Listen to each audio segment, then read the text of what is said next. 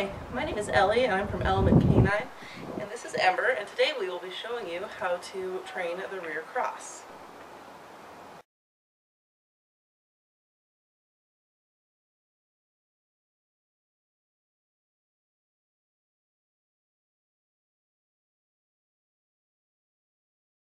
So the first step of training a rear cross um, involves training the dog that it's okay for the, them to turn their heads and their bodies away from you. So how we're going to start building this is by teaching the dog on both the left and the right sides how to turn in a circle at your side. As you can see, Ember is pretty experienced with this, so she does pretty well. So with a low hand and a treat in my hand, I'm going to lure her body around in a circle like that. Yes. And it's okay if she gets a little bit out of position, because all we're working on right now is getting their dogs comfortable with turning their bodies and heads away from us. Yes. Good. So that's step one.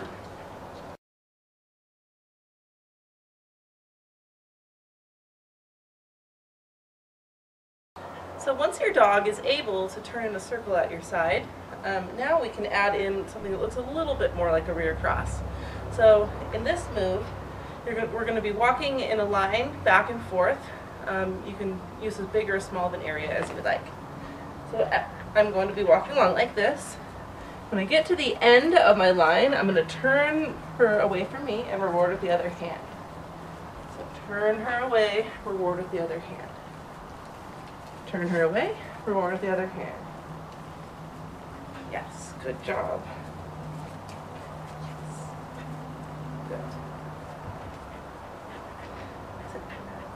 So once your dog is able to turn away from you with um, minimal luring with your hand, um, then you can start adding in your verbal command. For me, I say turn.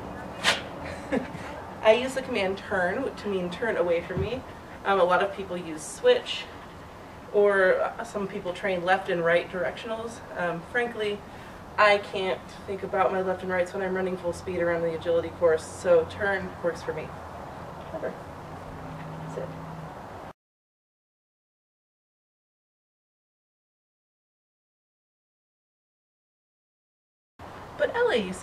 am I going to turn this little trick into something that's actually useful on the agility course? Let me show you. So remember the step that we just did, teaching the dog to turn away from us on the line going back and forth? We're going to do the exact same thing, but with a jump right in front. it looks a little something like this. The dog is going to be in between the jump standard and myself. So jump standard, dog, me. And with, with my left hand, I'm going to lure her head around.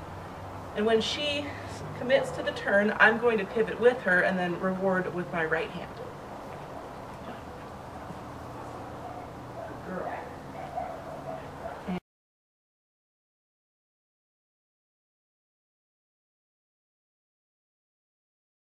So you'll notice that I am not jumping Ember at her full height of 20 or 22 inches. Um, this is because, like I stated earlier, this is not a jumping exercise as much as, as much as it is a handling exercise.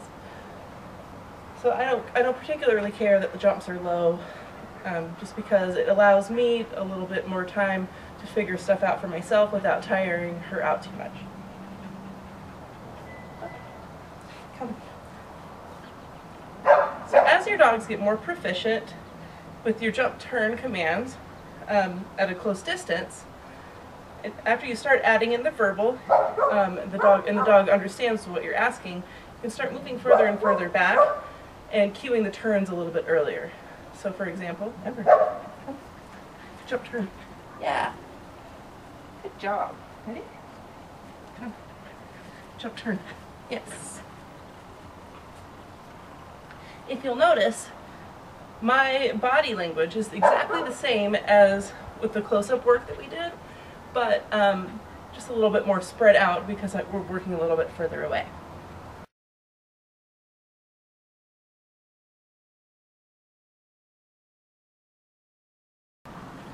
Alright, so here is what the finished product will look like after you have completed your rear cross training.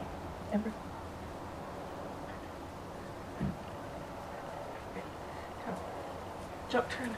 Yes. Good.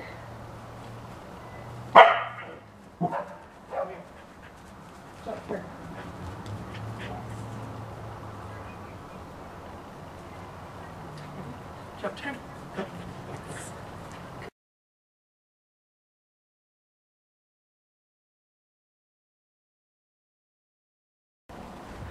Let's talk about troubleshooting some common problems that you might have when training your dog to do a rear cross. The most common thing that my students, and I guess myself as well, have is by getting the dog to go around in a circle. A lot of dogs are very resistant to turning away from you. Um, and one of the biggest ways we can help them is by using a nice low hand. If our hands get too high, dogs have a problem moving their neck. You see how she can't get around like that? But if you drop your hand, he'll be twisting and turning in no time. And the same thing applies. You may run into exactly the same problem once you start adding in a jump. Um, your dog might jump and spin, or knock the bar, or just do behaviors that tell you that they're not really understanding what you're asking. So remember the tip earlier about the low hand? That's the quickest way for you and your dog to be successful at this stage. So I'm going to send her with a high hand, and I'll see if I can get her to spin. I'm not sure if she will. Jump, turn. Oh, good girl. Look at that well-trained dog. But no, okay, so that was with a high hand. That was incorrect. With a low hand, watch the difference in her body language. Good job. Jump. Jump. Yes. Jump, turn. Yes. Good. Jump, turn. Yes. Jump, turn. Yes.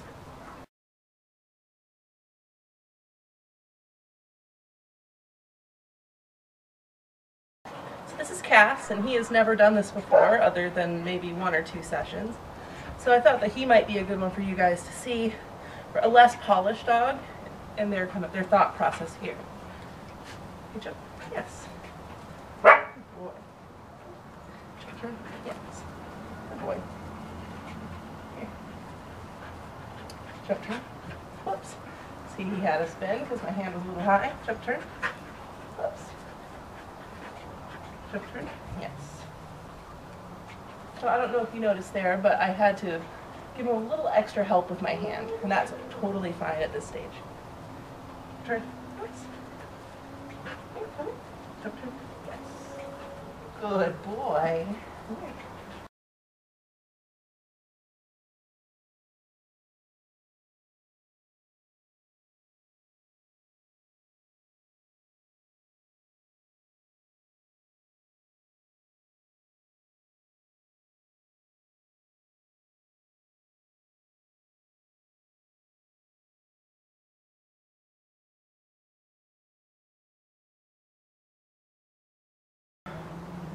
So as you can see, training rear crosses does not have to be a big mystery. By following the steps that I have provided you today, with a little bit of hard work, you and your dog will be on your way to rear cross mastery in no time. Thanks for watching.